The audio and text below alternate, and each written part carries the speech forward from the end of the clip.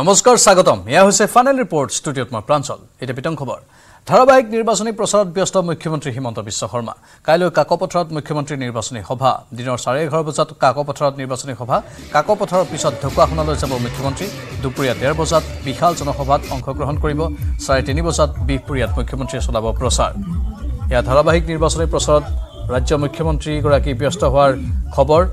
কাইলৈ কাকপথাৰত মুখ্যমন্ত্ৰীৰ নিৰ্বাচনী সভা আছে। কাইলৈ গৰু গৰু বিহুৰ দিনটোতো মুখ্যমন্ত্ৰীগৰাকী নিৰ্বাচনী প্ৰচাৰ চলাব। কাকপথাৰত যাব। কাকপথাৰত দিনৰ চাৰে এঘাৰ বজাত নিৰ্বাচনী সভা।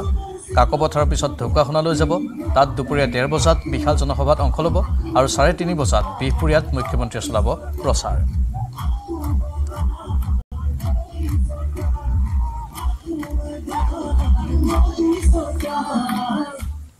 তেজপুৰত সুৰামত্ত আৰক্ষীৰ অতপালি ৰাইজৰ ৰোষত মাতাল আৰক্ষী নিজকে ঢেকীয়াজুলি থানাৰ আৰক্ষী বুলি পৰিচয় দি সাৰি যোৱাৰ চেষ্টা মাতাল আৰক্ষীৰ। লোকজনৰ বিৰুদ্ধে দুটাকৈ দুৰ্ঘটনা সংঘটিত কৰাৰ অভিযোগ।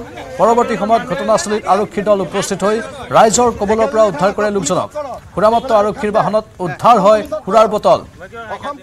কথাৰ কটাকটি হয় স্থানীয় লোকৰ সৈতে আৰু এওঁ নিজকে আৰক্ষী বুলি পৰিচয় দিছিল আৰু দাবী ধমকি দিছিল বিভিন্নজনক দুটাকৈ দুৰ্ঘটনা সংঘটিত কৰিছিল। আৰু স্থানীয় লোকসকলৰ অভিযোগ এওঁ সুৰামত্ত অৱস্থাত আছে।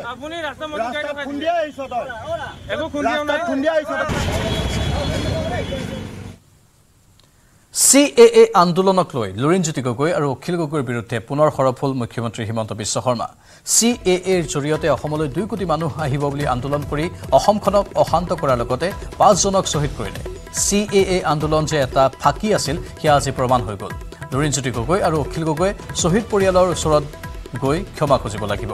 অসমত আৱেগৰ ৰাজনীতি কেতিয়াও নকৰোঁ বুলি প্ৰতিজ্ঞা কৰিব লাগিব।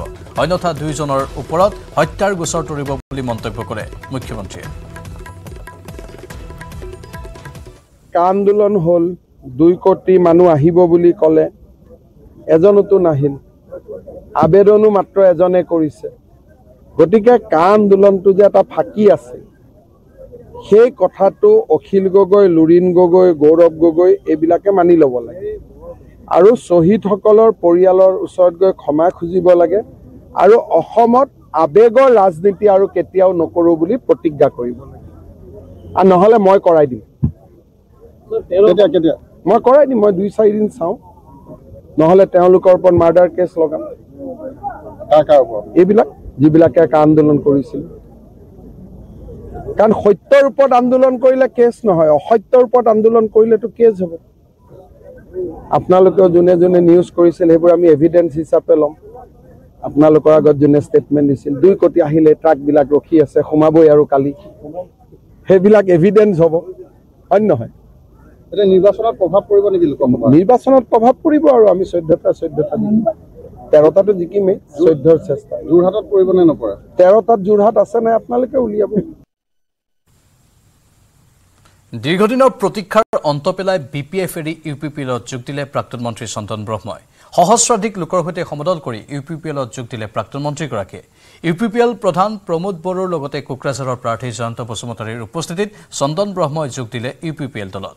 চিৰাং জিলাৰ কাজলগাঁও বজাৰত আয়োজিত যোগদান সভাত চন্দন ব্ৰহ্মৰ লগতে ইউ পি পি এলত যোগ দিয়ে আমচুৰ কেন্দ্ৰীয় সমিতিৰ মুখ্য সাংগঠনিক সম্পাদক গুলজাৰ হুছেইন আক্ৰাচুৰ কেন্দ্ৰীয় সমিতিৰ উপদেষ্টা অৰুণ ৰায় বনচুৰ কেন্দ্ৰীয় সমিতিৰ উপ সভাপতি অশোক কুমাৰ ব্ৰহ্ম বনচুৰ চিৰাং জিলা সমিতিৰ ইন্দ্ৰজিৎ ব্ৰহ্ম এ বি এমচুৰ চিৰাং জিলা সমিতিৰ উপ সভাপতি কায়েম আলীৰ লগতে সহস্ৰাধিক লোকে।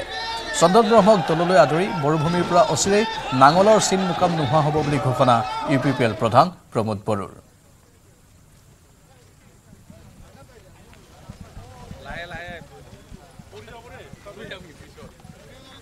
ইয়াত হৈছে এইটো কথা নহয় যে ইউ পি পি এল দলৰ প্ৰাৰ্থী এইবাৰ আমাৰ সকলৰ আদৰৰ জয়ন্ত বসুমতাৰী ডাঙৰীয়াক জিকাই দিবৰ কাৰণে সকলোৱে সক্ৰিয়ভাৱে কাম কৰি আছে আৰু ইতিমধ্যে ৰাইজ এন ডি এ প্ৰাৰ্থী ইতিমধ্যে আঁকোৱালি লৈছে। এই কথাত আৰু দুবাৰ ক'বলগীয়া কথা নাই। আৰু আজি আমি বহুতো হাজাৰ সংখ্যক বি পি এফ দল তথা আৰু কিছু দল সংগঠনৰ নেতা কৰ্মীসকলে ইয়াত আহি প্ৰমোদ বড়ো ডাঙৰীয়াৰ নেতৃত্বাধীন ইউ পি পি এলত যিটো যোগদান হ'ল। আৰু ডেফিনেটলি শক্তিটো আৰু বাঢ়িব। এই কথাটো আপোনালোকে বা সকলোৱে জানে। এটা শব্দত মই ইয়াৰ আখ্যা ব্যাখ্যা কৰিব বিচাৰিছোঁ যে আজিৰ পৰা বি পি এফ দলৰ যিটো হেমগ্ল'বিন এইটো বিল' ফাইভ হ'ব। যিটো শক্তি সমৰ্থন এটা দলে জীয়াই থাকে ৰাইজৰ সমৰ্থনৰ ওপৰত। এইটো কোনোবা ব্যক্তি হিচাপে দল চলাব নোৱাৰে। ৰাইজে যেতিয়া সমৰ্থন কৰিব ৰাইজৰ আশীৰ্বাদহে ৰাইজৰ আশীৰ্বাদতহে দলখন জীয়াই থাকে। চবেই বিচৰা নিচিনা এটা দল দল পাইছে। এইকাৰণে সকলো জাতি জনগোষ্ঠী সকলো ধৰ্মৰ লোক সদায় ইউ পি পি এল দলত দলে বলে যোগদান কৰি আছে। আৰু আজি বিশেষভাৱে আমাৰ ৰাতিপুৱাৰ ভাগত আমাৰ অৰুণ ৰয় ডাঙৰীয়া প্ৰাক্তন সভাপতি আক্ৰাসুৰ তেখেতে আমাৰ দলত জইন কৰিছে।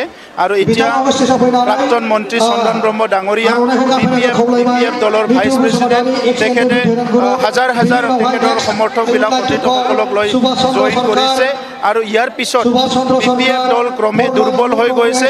আৰু অনাগত দিনত বি পি এফ দলৰ মই আপোনালোকক আগতো কৈছোঁ আজিও কওঁ অনাগত দিনত বি পি এফ দলত আঙুলৰ ছবি লৈ ইলেকশ্যন খেলিবলৈ মানুহ বিচাৰি নাপাব।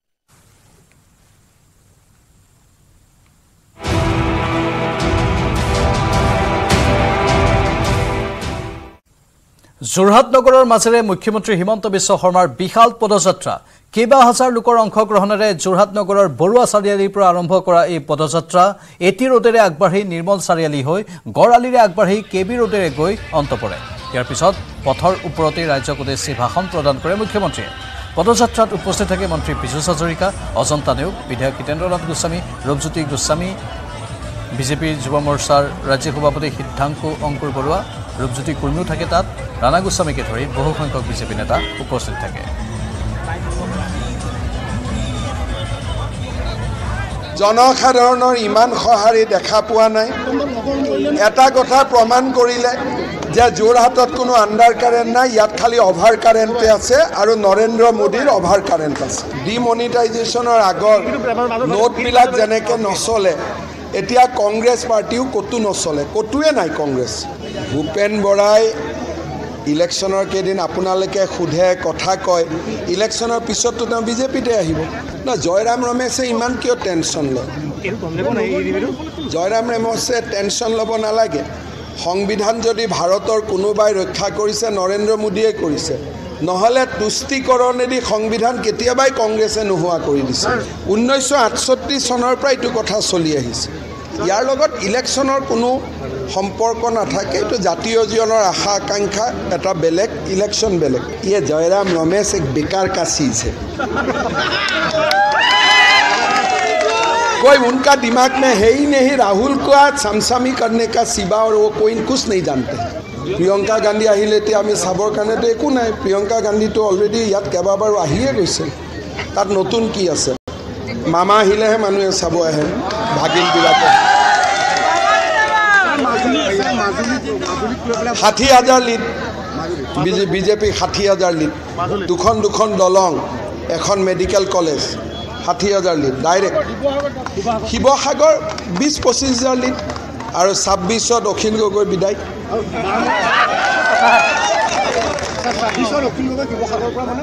একেবাৰে বিদায়। কোনো কথাই নাই। কাৰণ তেওঁ থকালৈকে শিৱসাগৰত একো কাম নহয়। এই যে বিজেপিয়ে আগন্তুক নিৰ্বাচনৰ ফলাফলত তিনিশ সত্তৰখন লাভ কৰিব এন ডি এ লাভ কৰিব চাৰিশখন আসন। প্ৰদান বৰুৱাই অভিলেখ সংখ্যক ভোটত জয়লাভ কৰিব। ধেমাজিৰ নৰোৱা থানত প্ৰদান বৰুৱাৰ হৈ নিৰ্বাচনী প্ৰচাৰ চলাই এই মন্তব্য ডিব্ৰুগড় সমষ্টিৰ সাংসদ তথা কেন্দ্ৰীয় মন্ত্ৰী সৰ্বানন্দ সোণোৱালৰ মন্ত্ৰী অনুজ পেগুৰ উপস্থিতিত বিজেপিৰ মিত্ৰজোঁটৰ প্ৰাৰ্থী প্ৰদান বৰুৱাৰ হৈ কেইবা সহস্ৰাধিক জনতাৰ অংশগ্ৰহণেৰে নিৰ্বাচনী প্ৰচাৰ চলাই বিৰোধীক তীব্ৰ সমালোচনা কৰে কেন্দ্ৰীয় মন্ত্ৰীগৰাকীয়ে।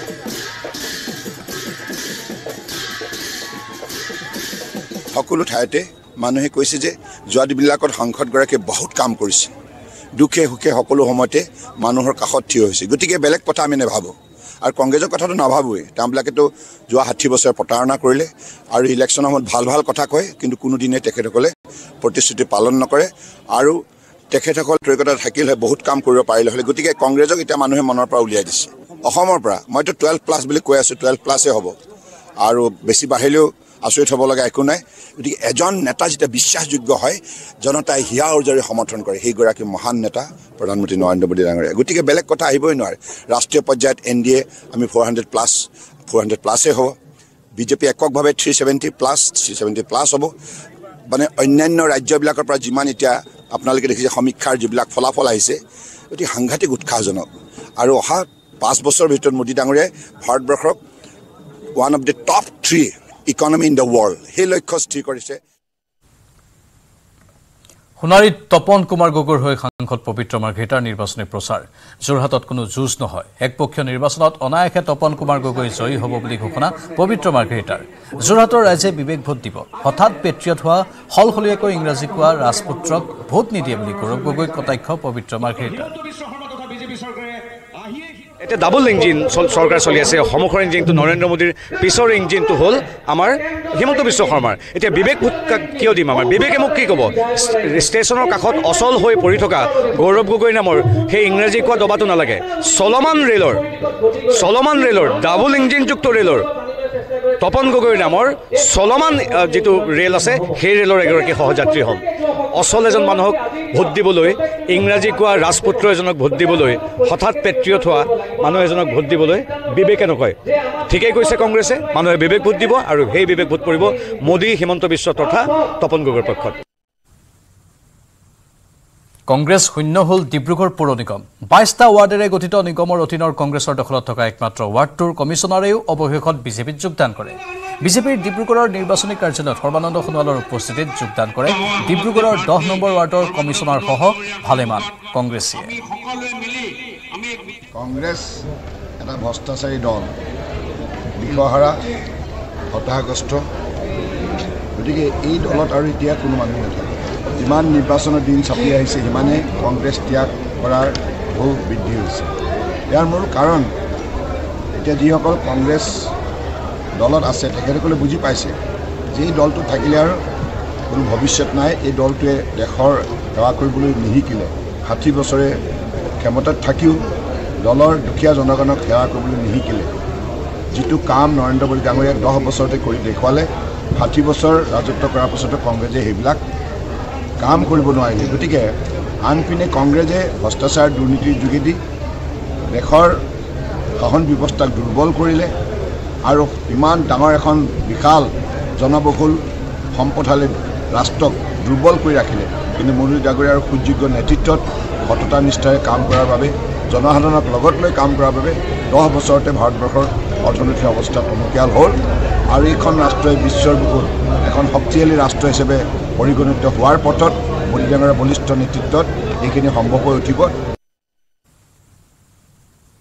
আনফালে নাচ গানেৰে জনসভাত মুখ্যমন্ত্ৰী হিমন্ত বিশ্ব শৰ্মাক ধাৰাবাহিক অক্লান্ত নিৰ্বাচনী প্ৰচাৰ। মুখ্যমন্ত্ৰীগৰাকীৰ উজনিত একেদিনাই চাৰিটা লোকসভা সমষ্টিৰ পাঁচখন জনসভাত অংশ মুখ্যমন্ত্ৰীৰ চাবুৱা ধেমাজি নাওবৈচা বিশ্বনাথৰ পিছত যোৰহাটত মুখ্যমন্ত্ৰীৰ বিশাল ৰোড শ্ব'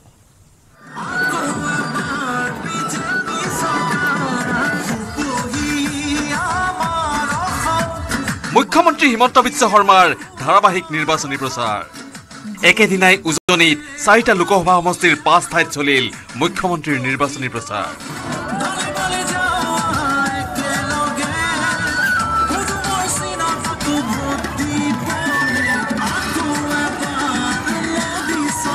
বিহুৰ প্ৰাকখনত ৰাজ্যবাসীলৈ জনালে ৰঙালীৰ শুভকামনা?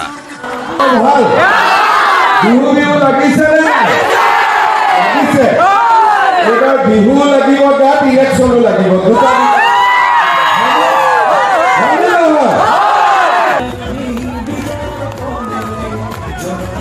চাবুৱাৰ জনসভাত সৰ্বানন্দ সোণোৱালৰ হৈ পুনৰ এবাৰ মুখ্যমন্ত্ৰীয়ে চলালে প্ৰচাৰ। চাবুৱা সমষ্টিৰ নতুন নাম কি হ'ল? চাবুৱা লাহোৱাল সমষ্টি। গতিকে চাবুৱা লাহোৱাল চব ফালৰ পৰা ভোট পদুমত। পুৰা ই ভি এম কলা হৈ যাব লাগিব পদুমত মাৰোতে মাৰোতে হয়নে? এইফালে দিবনে নাই? জিকাবনে নাই? জিকাবনে নাই? তাতে বিজেপিৰ প্ৰাৰ্থীগৰাকীটো আপোনালোকৰ ঘৰৰ ল'ৰা। হয়নে নহয়? আপোনালোকৰ ঘৰৰ ল'ৰা আপোনালোকৰ আপোনজন। সকলোৱে বিজেপিক ভোট দিব লাগিব। পদুম সিঙৰ ছবিত ভোট দিব লাগিব চব ৰেডি হয়নে নহয় চব ৰেডি চবে ভোট দিব দেখিলে গম পায় এতিয়া নাচিবনে নাই এবাৰ নাচিবনে নাই নাচিব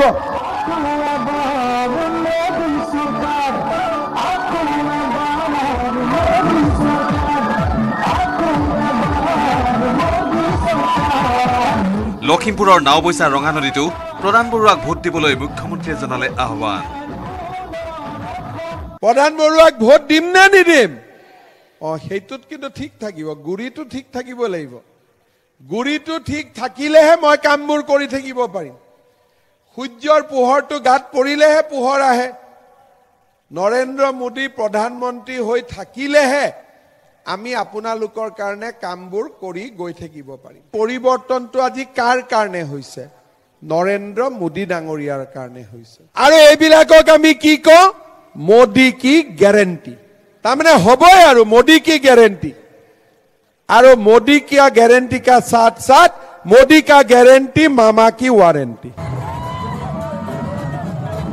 অসমৰ উন্নয়নৰ বাবে অসমীয়াৰ উন্নতিৰ বাবে বিজেপিয়ে লোৱা আঁচনিৰ কথা কৈ বিজেপি চৰকাৰক পুনৰ এবাৰ নিৰ্বাচিত কৰাৰ আহ্বান মুখ্যমন্ত্ৰীৰ। যুৱক যুৱতীয়ে যাতে আশাৰ বন্তি গছি দেখা পাই থাকিব পাৰে। তাৰ কাৰণে চাবুৱাৰ এই সভাত মই আজি আকৌ ঘোষণা কৰিছো যে অহা বছৰৰ ভিতৰত আমি আৰু পঞ্চাছ হাজাৰ চৰকাৰী চাকৰি দিম। এইকেইদিন কংগ্ৰেছ পাৰ্টীয়ে মোৰ ওপৰত কমপ্লেইন দি আছে যে লাখপতি বাইদেউক টকা দিয়াৰ কথা কিয় ক'ব লাগে? মইনো মই নোৱাৰো বুলিহে নহ'লেতো কৌটিপতিয়ে বনাই দিলোহেঁতেন। এতিয়া কৌটিপতি বনাব নোৱাৰো। সেইকাৰণে লাখপতিটোতো অন্তত বনাব পাৰিম। ইফালে একেদিনাই বিশ্বনাথত ৰঞ্জিত দত্তৰ হৈ আৰু যোৰহাটত তপন কুমাৰ গগৈৰ হৈ মুখ্যমন্ত্ৰীয়ে চলাই গ'ল নিৰ্বাচনী প্ৰচাৰ অভিযান। প্ৰথম বাইদেউ বনাই লওঁ তাৰপিছত লাখপতি দাদাও বনাব লাগিব বুদ্ধি এটা উলিয়াব লাগিব। এইটো ফূৰ্তি লাগি আছে ইহঁতৰ। একচুৱেলি লাখপতি দাদা হ'বই পাৰে। যিবিলাক ল'ৰা ছোৱালীয়ে চাকৰি নাপায় তেওঁলোকে আত্মনিৰ্ভৰ অসমত আবেদন কৰক দুই লাখ টকাকৈ পাব। তেওঁলোক ডাবুল লাখপতি হৈ যাব। পাৰ হৈ ইচ্ছা আছে আহি যাব এইফালে পাৰিবনে নাহিব যোনে যোনে পাৰে এইফালেও আহি যাব। ঠিক আছে পুলিচে একো নকৰে। এতিয়া সকলোৱে একেলগে আমি কি গাম আকৌ এবাৰ আকৌ এবাৰ লগাই দিয়ক মোদী চৰকাৰ গান পুৰা। News desk news eighteen Assam north east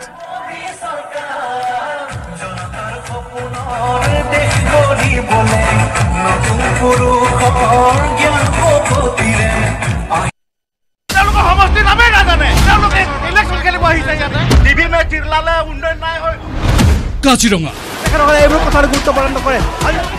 নিজৰ এখনত বহিবৰ কাৰণে অনুৰোধ জনাইছো। যোৰহাট।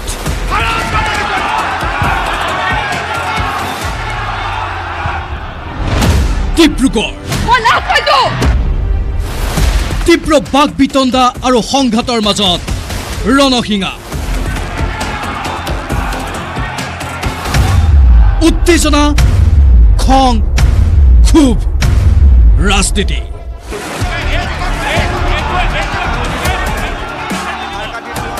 হাত তালি বজাব নালাগে।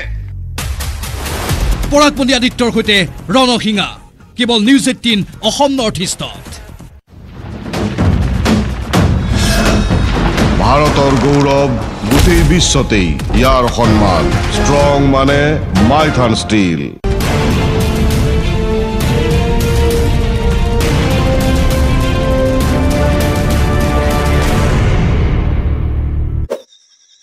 কৰাত উৎফুল্লিত হৈ পৰিছে পৰিয়াল আত্মীয় স্বজন তথা শুভাকাংক্ষীসকল।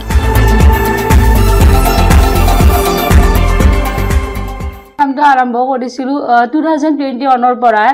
প্ৰথম অৱস্থাত মই ফেচবুকত দেখিছিলোঁ তেনেকৈ কামটো আৰম্ভ কৰিছিলোঁ। কেনেকৈ গছৰ বাটো কিবা নতুনকৈ এটা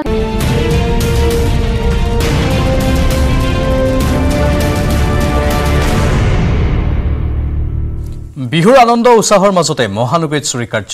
মালিগাঁও চাটেল গেটৰ ব্যৱসায়িক প্ৰতিষ্ঠানত চোৰৰ লুটপাত ব্যৱসায়িক প্ৰতিষ্ঠানখনৰ টিন ভাঙি প্ৰৱেশ কৰে দুৰ্বৃত্তই। চোৰে লুটিলে বিক্ৰীৰ বাবে অনা বিহুৰ বিভিন্ন বস্ত্ৰ থলুৱা আ অলংকাৰ লগতে স্কুলীয়া বিভিন্ন পোছাকো লুটি নিলে চোৰৰ দলে। এই ঘটনা সন্দৰ্ভত গৌচলা আৰক্ষী থানাত এজাহাৰ দাখিল কৰিছে ভুক্তভোগীয়ে।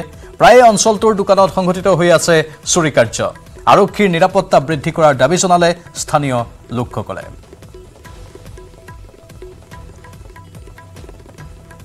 বঙাইগাঁৱৰ যোগীঘোপাত পথ দুৰ্ঘটনাক লৈ উত্তপ্ত পৰিস্থিতি। ট্ৰাকৰ চেপাত বৃদ্ধা মহিলাৰ মৃত্যুক লৈ উত্তেজনা। যোগীঘোপাৰ কাবাইতাৰী পচনীয়াত ট্ৰাকে মহতিয়াই নিছিল এগৰাকী বৃদ্ধা। নিহত বৃদ্ধাগৰাকীৰ নাম জেৰিনা বেৱা। এই দুৰ্ঘটনাক কেন্দ্ৰ কৰি স্থানীয় ৰাইজে পথ অৱৰোধ কৰাৰ লগতে ট্ৰাকখনৰ যথেষ্ট ক্ষতিসাধন কৰে। পৰৱৰ্তী সময়ত আৰক্ষী উপস্থিত হৈ পৰিস্থিতি নিয়ন্ত্ৰণ কৰে। আনফালে বজালীৰ পাটাচাৰকুচিত মন্ত্ৰী ৰঞ্জিত কুমাৰ দাসৰ মহানুভৱতা পাটাচাৰকুচিত আৰক্ষীৰ বেৰিকেডত খুন্দিয়াই গুৰুতৰভাৱে আহত হৈছিল এজন যুৱক। দুৰ্ঘটনাস্থলীৰ নিচেই সমীপত আছিল মন্ত্ৰী ৰঞ্জিত কুমাৰ দাসৰ নিৰ্বাচনী সভা। লগে লগে ঘটনাস্থলীত আৰক্ষী উপস্থিত হৈ পৰিস্থিতি নিয়ন্ত্ৰণ কৰিবলৈ চেষ্টা কৰে। পাছত আৰক্ষী উপস্থিত হয় যদিও আঘাতপ্ৰাপ্ত যুৱকজনক চিকিৎসালয়লৈ প্ৰেৰণ কৰাৰ বাবে গাড়ীৰ অপেক্ষাত থাকে। সেই সময়তে সভাত ভাষণ দি থকা মন্ত্ৰী ৰঞ্জিত কুমাৰ দাসে দুৰ্ঘটনাস্থলীলৈ আহি নিজৰ বাহনেৰে পাঠশালাৰ চৰকাৰী চিকিৎসালয়লৈ প্ৰেৰণ কৰে আহত যুৱকজনক। বৰঝাৰৰ লোকপ্ৰিয় গোপীনাথ বৰদলৈ আন্তঃৰাষ্ট্ৰীয় বিমানবন্দৰত প্ৰাক ৰঙালী বিহু। ঢোল পেপাৰ মাতত ৰজন জনাইছে বিমানবন্দৰৰ চৌপাশ। বিমানবন্দৰত দহদিনীয়াকৈ আয়োজন কৰিছে ৰঙালী বিহুৰ অনুষ্ঠান। বিশেষভাৱে সজাই পৰাই তোলা হৈছে বিমানবন্দৰটো শিপিনীয়ে তাঁত বৈ থকাৰ দৃশ্য দেখিবলৈ পাব যাত্ৰীসকলে তাত। লগতে বিমানবন্দৰৰ ভিতৰে বাহিৰে দহ দিন ধৰি যাত্ৰীসকলক মনোৰঞ্জন তথা অসমীয়া সংস্কৃতিৰ বিষয়ে আভাস দিবলৈ বিহু হুঁচৰি প্ৰদৰ্শন কৰাৰ ব্যৱস্থা কৰিছে বিমানবন্দৰ কৰ্তৃপক্ষই।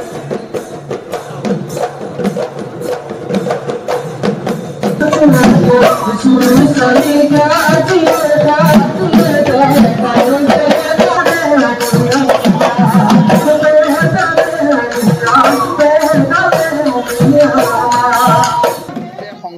পৰম্পৰাত যে নাৰীৰ স্থান সবাতোকৈ আগত নাৰীক যে আমি সমানভাৱে স্বীকৃতি দি আহিছোঁ। আৰু যেনেকে আমাৰ পুৰুষে মুনিহে হাল বায় আৰু তিৰোতাই ঘৰত কাপোৰ বয় নহয় জানো? এয়া আমাৰ পুৰণি পৰম্পৰা। গতিকে সেই পৰম্পৰাৰ আমি দুই ডিপাৰ্চাৰ আৰু এৰাইভেলত আমি প্ৰদৰ্শন কৰিব পাৰিছোঁ। আৰু সন্মুখত এতিয়া আপোনালোকে দেখিলে আজিৰ পৰা আৰম্ভ হৈ আমি দহ দিনৰ বাবে ইয়াত একেধাৰে বিহু নৃত্য বা বিহু নাচ প্ৰদৰ্শন হ'ব।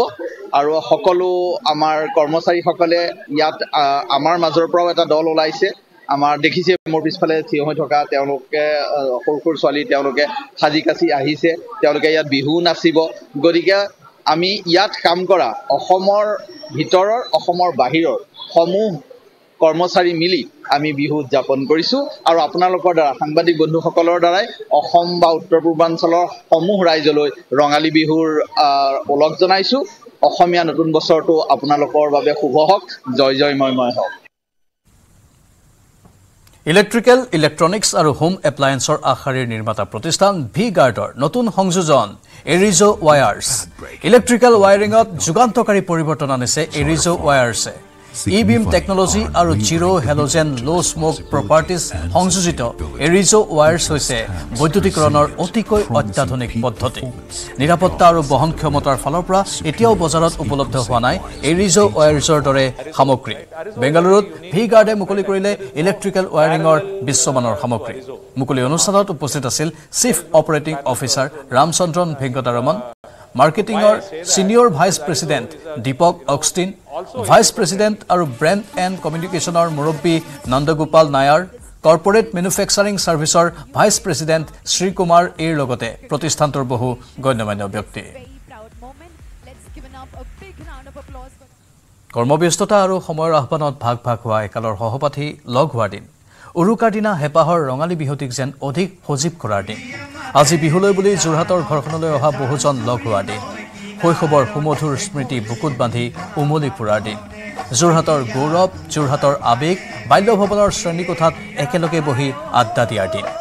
এয়া যোৰহাটৰ বাল্যভৱনৰ দৃশ্য।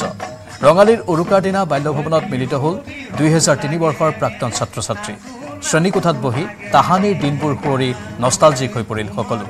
বহু সময় আড্ডা দিয়াৰ পাছত বিহু নাচি বাল্যভৱনৰ চৌহদ কপালে গৌৰৱ অংশুমান লাকি পৰি ৰাজশ্ৰী আৰু হিমাংশুহঁতে শিক্ষাগুৰু তথা কৰ্মচাৰীলৈ বিহুৰ ওলগ যাচি মৰমৰ বিদ্যালয়খনলৈ আগবঢ়ালে কেইপদমান সামগ্ৰী।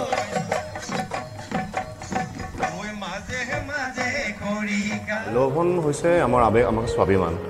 দুহেজাৰ তিনি চনত আমি যিখিনি যিসকল শিক্ষাৰ্থী মানে শিক্ষক আমাৰ আছিলোঁ আমি যিখিনি ষ্টুডেণ্ট আছিলোঁ তো তেওঁলোকে আমি বহুত দিনৰ পৰা প্ৰগ্ৰেম স্থাপন মানে কৰিম বুলি ভাবি আছিলোঁ। ইয়াৰ কাৰণে আমি ধৰক বহুত কিছুমান ছাত্ৰ ছাত্ৰী বাহিৰত থাকে। আমি সকলোৰে লগত সংযোগ স্থাপন কৰিলোঁ। তাৰ মাজত ধৰক দুই এজনৰ সংযোগ স্থাপন নাপালোঁ। কিন্তু যিকেইজনৰ লগত আমি সংযোগ স্থাপন কৰিলোঁ তেওঁলোকে আমাক তাৰ পৰাই ধৰক তেওঁলোকে সহায় কৰিলে।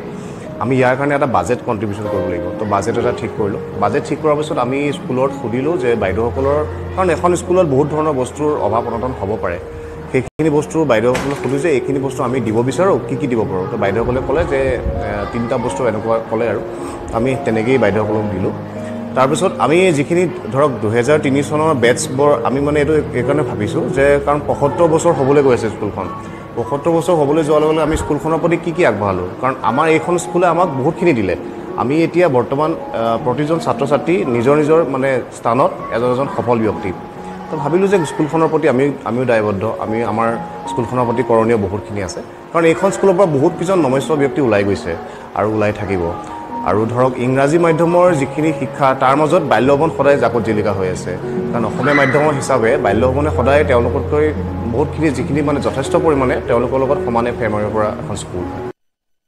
আমি আচলতে আজি খুব গৌৰৱ অনুভৱ কৰিছোঁ। কাৰণ তেওঁলোকে যে বাল্যভৱনখনৰ অত বছৰ হৈ গ'ল দুহেজাৰ তিনি চনতেই তেওঁলোকে হাইস্কুল শিক্ষান্ত পৰীক্ষাত উত্তীৰ্ণ হৈ বিভিন্ন দিশত তেওঁলোক বিভিন্ন ঠাইত তেওঁলোক আছে কৰ্মৰত হৈ পেলাই আজি মিলিত হৈ পেলাই বাল্যভৱনক স্মৰণ কৰিছে বাল্যভৱনলৈ মৰম যাচিছে সেয়া আমাৰ বাবে অতি আদৰণীয় বুলি ভাবিছোঁ। আৰু নতুন প্ৰজন্মৰ বিশেষকৈ তেওঁলোকৰ গোটেইখিনি দেখা পালে তেওঁলোকে যি আদৰ্শ দেখুৱাইছে সেই আদৰ্শ অনুচকলৰ মাজত নিশ্চয় চিৰস্থায়ী হ'ব হৈ ৰ'ব বুলি আশা কৰিছোঁ। আৰু আপোনালোকৰ নিউজ চেনেলতো আমাৰ বাল্যভৱন পৰিয়ালবৰ্গৰ তৰফৰ পৰা আন্তৰিক ৰঙালী বিহুৰ আন্তৰিক শুভেচ্ছা আৰু সম্ভাষণ জ্ঞাপন কৰিছোঁ।